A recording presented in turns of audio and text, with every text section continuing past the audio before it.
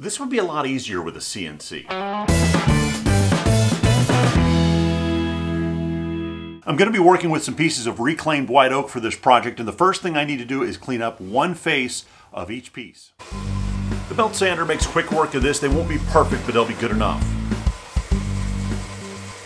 Now that I have two mostly flat faces, I should be able to glue these up into one piece.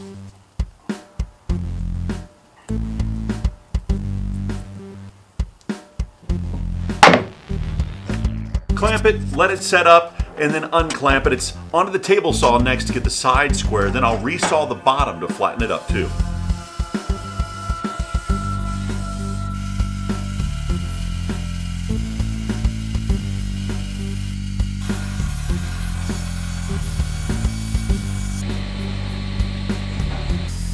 The chop saw squares up the other edges. So I took some time to set this up. I've got my piece of oak clamped in here. I'm gonna use the straight edge of my table saw and this piece of scrap wood as a second straight edge. This gets everything spaced out just the way I want it so I can go and plow out the inside of this with my router. I'll show you. This is the kind of repetitive process that a CNC would help with. I'm using a cove bit here and lowering the bit a little bit at a time going around two sides then I'll flip it and repeat the process for the other two sides.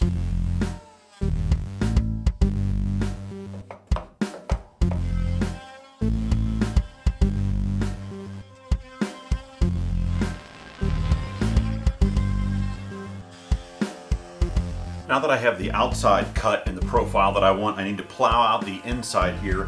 And this sled that I made for my board flattening jig should work pretty well. It actually fits just about perfectly on this just by coincidence. So I can run the router back and forth in this direction and chew up most of what's inside here.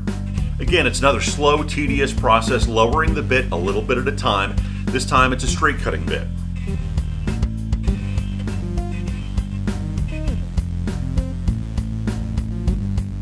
Now that I have the bowl section or tray section plowed out, I want to lighten up the edges and kind of lighten up the profile overall. And to do that, I'm going to use my table saw.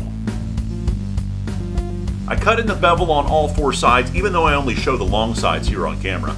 After that, I used a roundover bit to clean up the top edges. You can see where I nicked the edge with the router bit. I was able to clean up most of that with sandpaper.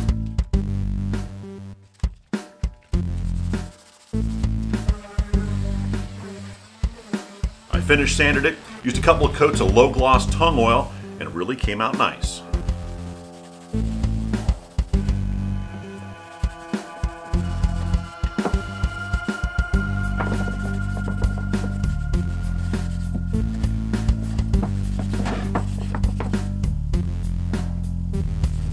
Sure there's a better way I could have done this, maybe making use of a template cutting jig. My little router just isn't set up to do that. I was really joking about doing this project with a CNC. I don't have one, I don't have any CNC experience, but it seems like you just create one tool path and it would cut it out pretty quickly.